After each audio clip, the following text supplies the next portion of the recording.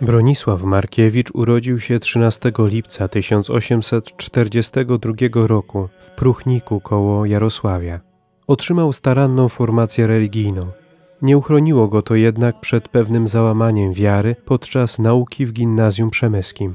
W roku 1863 wstąpił do seminarium duchownego. We wrześniu 1867 przyjął święcenia kapłańskie. Został skierowany do pracy duszpasterskiej w Harcie i w katedrze przemyskiej. Pragnął poświęcić się pracy z młodzieżą, dlatego podjął dodatkowe studia z pedagogiki, filozofii i historii na Uniwersytecie Jana Kazimierza w Lwowie i na Uniwersytecie Jagiellońskim. W roku 1875 został proboszczem w parafii Gać, a dwa lata później w Błażewie. Od roku 1882 wykładał teologię pastoralną w seminarium duchownym w Przemyślu. Z czasem ksiądz Bronisław odkrył w sobie powołanie do życia zakonnego. W listopadzie 1885 roku wyjechał do Włoch i tam wstąpił do Salezjanów. W marcu 1887 roku złożył śluby na ręce świętego Jana Bosko. Z oddaniem i gorliwością wypełniał powierzone mu zadania. Z powodu surowego trybu życia zachorował na gruźlicę. Uważano go za bliskiego śmierci. Udało mu się jednak odzyskać zdrowie.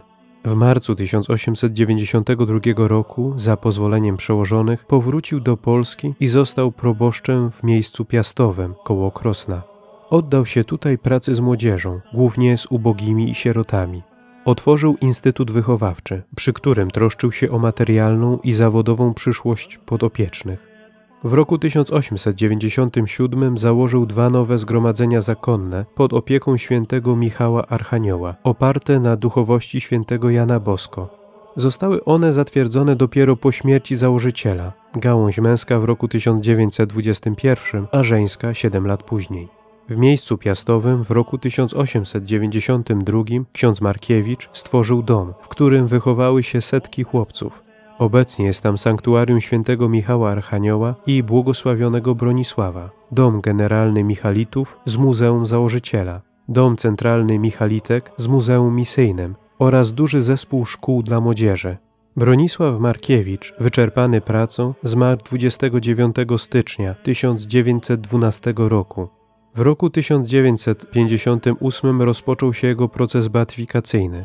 Zakończył się on uroczystą beatyfikacją dokonaną w Warszawie przez delegata papieskiego księdza kardynała Józefa Glempa w dniu 19 czerwca 2005 roku.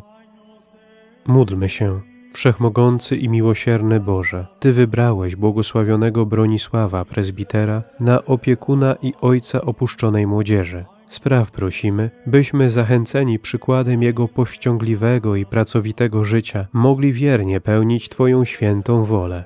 Przez naszego Pana Jezusa Chrystusa, Twojego Syna, który z Tobą żyje i króluje w jedności Ducha Świętego, Bóg przez wszystkie wieki wieków. Amen.